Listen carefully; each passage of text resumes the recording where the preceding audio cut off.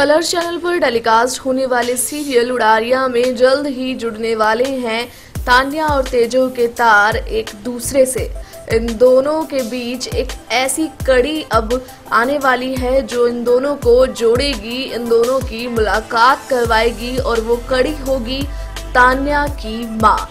आज यानी कि 6 जून को सामने आया है सीरियल का कल के एपिसोड का प्रोमो, जिसमें आपने देखा होगा कि तानिया गिल एक शख्स से फ़ोन पर बात करती नज़र आ रही है और वो कह रही है कि क्या उसकी माँ ठीक है? उसने पैसे जोड़ लिए हैं और अब वो अपनी माँ से जल्द ही मिलने वाली है।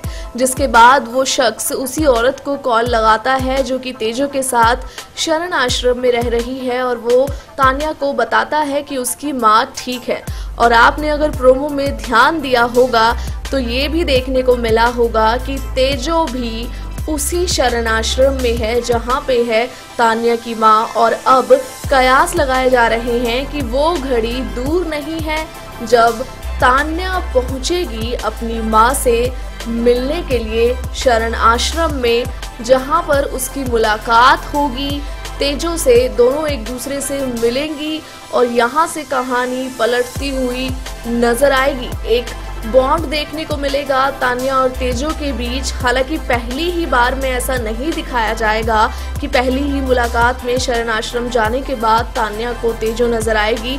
लेकिन हाँ तानिया को ये ज़रूर पता चल जाएगा कि तेजो ज़िंदा है और वो शरण आश्रम में रह रही है।